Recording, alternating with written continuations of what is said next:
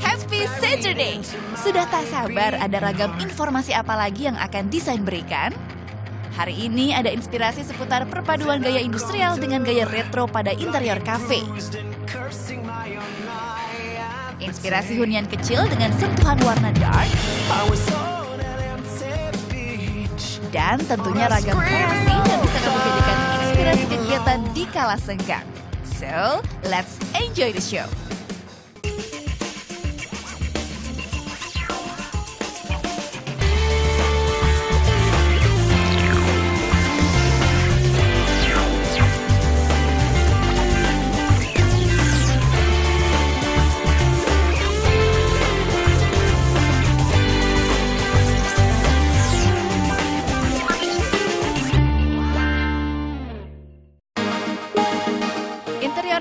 Pada sebuah kafe kini menjadi nilai tambah bagi pemilik untuk mempromosikan usahanya. Tak heran, banyak kafe berlomba-lomba mendesain kafenya semenarik mungkin. Tak terkecuali kafe yang berlokasi di kawasan Tangerang ini. konsepnya itu industrial retro. Kenapa kita pilih industrial retro? Pertamanya memang idenya itu industrial. Cuma em, pas kita lagi bikin konsep yang ini, mural ini, kita memang em, punya ide New York City as in yellow cap gitu yang terkenal di New York City. Akhirnya kita pilih eh, retro aja yuk. Kan retro itu pasti warnanya yang cerah, yang merah, yang kuning.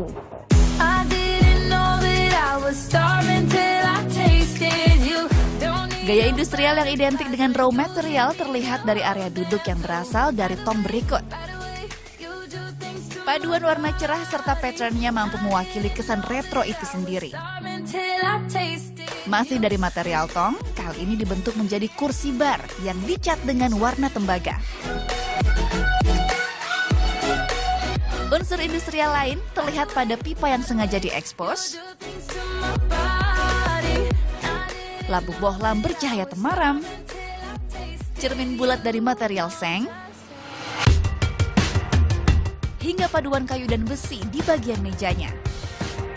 Sementara untuk menguatkan suasana ala New York, ditambahkan beberapa dekorasi pendukung di tiap ruang. Termasuk bendera negara Amerika Serikat yang diletakkan di area open kitchen. Yang paling menarik ialah peta jalur kereta yang dibuat dari susunan paku dengan tali berwarna sebagai penandanya. Hal unik lain adanya mezanin pada kafe ini dengan pembatas yang terbuat dari besi. Nah, bagian atas dan bawahnya dibagi menjadi beberapa bilik beragam tema. Bilik di setiap bilik itu berbeda karena konsepnya juga berbeda. Tujuannya untuk ke Amerika ya, maksudnya ke industrial New York kita pilih berbeda karena supaya menggampangkan si waitress. Tadinya mau dinomerin, tapi kayaknya aneh deh. Kenapa kita nggak juntrungin bener-bener sama persis kayak sekonsepnya gitu. Jadi kita pilih ada Old Hollywood di mana itu ada Marilyn Monroe, terus ada poster-poster yang lain gitu. Unsur industrialis tak dihilangkan begitu saja. Bilik ini mengaplikasikan dinding bata dan hiasan plat bertuliskan ikon ternama di New York. Serta meja dengan aksen roda di bawah kacanya.